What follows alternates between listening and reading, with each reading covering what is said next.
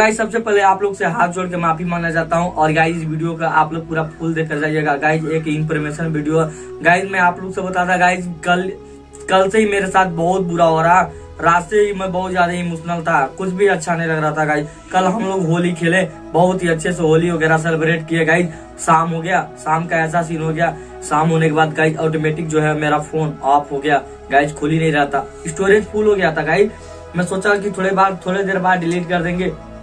उसके बाद हुआ क्या? अचानक से मेरा फ़ोन अचानक से मेरा फ़ोन हैंग कर गया और जो स्विच ऑफ़ जैसे गाइज़ ऑन करते थे तो कुछ दिखता नहीं था। बस एम आई लिखकर और गाइज़ कुछ आगे प्रोसेस नहीं हो पाया।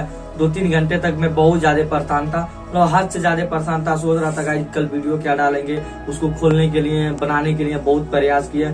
लेकिन गाइज़ बट हुआ नहीं। उसके बाद मैं मोबाइल को सॉफ्टवेयर किया। रिस्टार्ट कर सॉफ्टवेयर करवाया, उसके बाद मेरा मोबाइल ऑन हुआ। गाइस मोबाइल का जितनी डेटा था, एकदम गाइस सब चीज़ें उड़ गई है। मोबाइल में कुछ भी नहीं बचा। तो गाइस क्या बताएँ आप लोग को? जो वीडियो बना था वीडियो था ऑलरेडी वो भी डिलीट हो गया। अब करे तो क्या करें? आप लोग बताइए। गाइस सही में बहुत बुरा लगता है। यार, आप लोग फैमिली है, आप लोग मेरे परिवार है। आप लोग से जब तक नहीं मिलता हूँ तो गाइस कुछ भी अच्छा नहीं लगता है। और अब देखते हैं मोबाइल किनने का प्रयास है, क्योंकि गाइस ज़्यादा दिन फ़ोन हो गया, इस फ़ोन में भी परेशानी आ रहा है, नहीं मम्मी जी?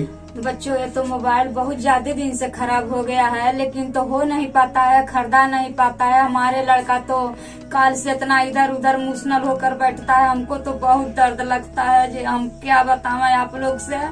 तो वीडियो तो इसीलिए लेट हो गया है, ये तो हमारे लड़का बहुत परेशान हो गया है, थोड़ा बहुत जो वीडियो बना है, आप लोग इस वीडियो का फुल वीडियो देखें और लाइक करें, सब्सक्राइब करें बच्चों। कभी कभी ऐसा होता है ना, आप लोग जब अपना दिल का बात बता देता हूँ तो गाइज़ अच्छा लगता है। बट गाइज़ कोई ना, और देखते हैं। जब भी हो पाएगा तो सब चीज़ें सही होगा। बस तो गाई छोटा सा इन्फॉर्मेशन था, आप लोग के दे दिए। बाकी कल ब्लॉग आएगा। गाइज़ अभी जा रहा हूँ ब्लॉग वगैरह शूट करेंगे। क्योंकि गाइज़ अगर ब्लॉग शूट नहीं करेंगे तो आप लोग देखेंगे क्या? क्योंकि गाइज़ आप परिवार और हमारे फैमिली हो तो गाइज़ सभी को प्रणाम कर रहे हैं।